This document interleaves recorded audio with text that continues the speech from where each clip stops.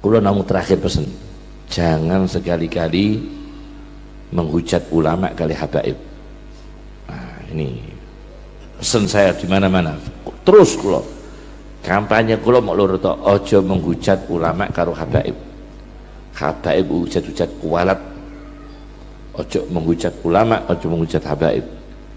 Kulo niki wis janjane kulo niki mediator hol-hol NU iki kula sing ngisi bolak-balik. Hol langitan hol putih hol putih.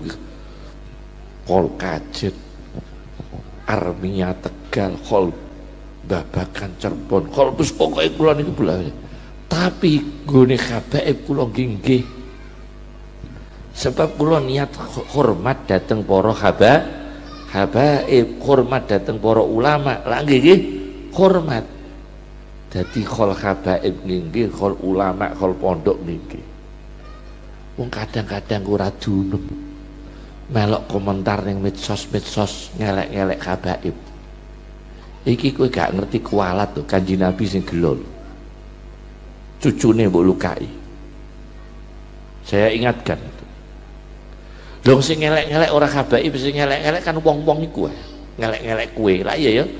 Lah kok terus sing bales kok haba HBIP gawian kurang gawian tak gini lah kue kok terus ngelek-ngelek habaib ojo ngelek-ngelek kiai ojo ngelek-ngelek ulama ojo ngelek-ngelek habaib ojo paham?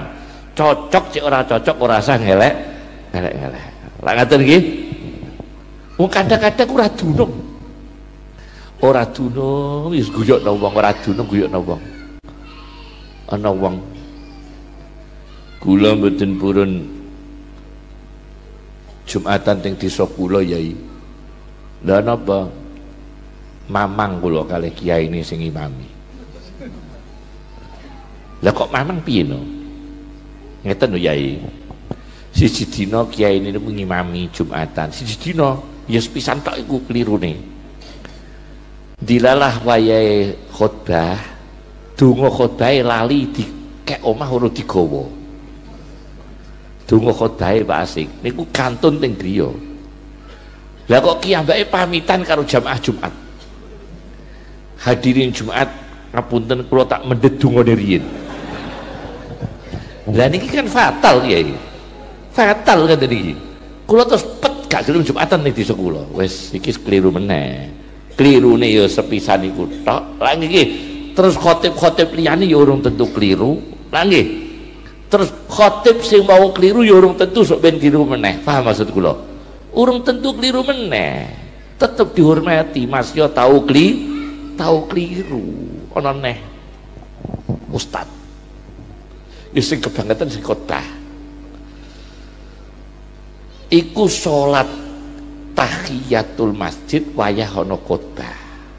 Ning usolli sunnata tahiyatil masjidi sing khotbah tersinggung. Rumangsa ora dirungokno. Lho kok yo aneh khotbah kok yo tersinggung? Melbu masjid orang rungokno khotbahku malah sholat apa tahiyatul masjid. Bareng tersinggung diucapno ning khotbah. Nek ana khotbah diwaca kok sholat tahiyatul masjid? Sikile sampai kemeng ora untuk ganjaran wonge krungu. Isin wonge kan wonge isin kan? Moro tinggen kula. Bar tinggen kula Mbah Maimun. Terus Mbah Abdul Hamid Baidowi telu eling eh kali kita mam jumput papat diparani kabeh. Takoke mau siji tok. Takok ning Mbah Maimun? Nyuwun sewu Yai Maimun nek wonten tiyang khotbah kula mlebu masjid salat tahiyatul masjid kenging mboten? Kena. Ya otomatis kena kan Sewanting Mbah Abdul Hamid kena. Sewanting kula nggih kena kabeh. Terus dienggo pegangan. Berarti tak inting-inting sing khotbah. Tak inting-inting. Siji dina sing khotbah niku khotbah melih. Dheweke sengaja sholat pol ngarep. Lho pol ngarep niku beb awal khutbah ngatek pol ku salat tahiyatul masjid tok. Lu awal sampai akhir ku sholat tahiyatul masjid ku tahiyatul masjid sing piye ku?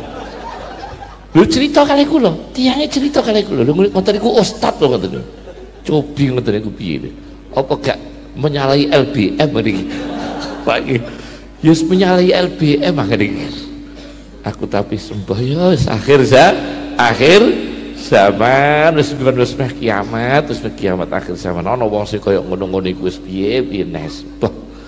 Mula awak dhewe iki muga husnul khotimah. Aja menghujat ulama aja menghujat habaib.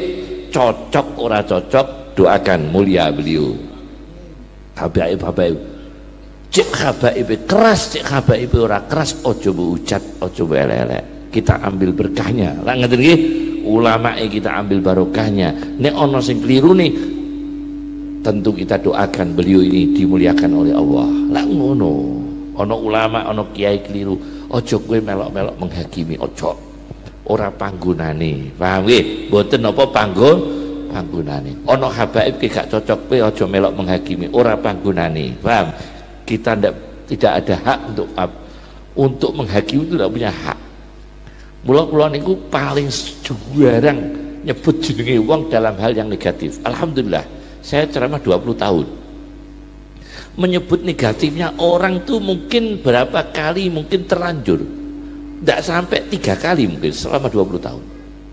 Kan tak evaluasi ono salah ya apa aku pidato.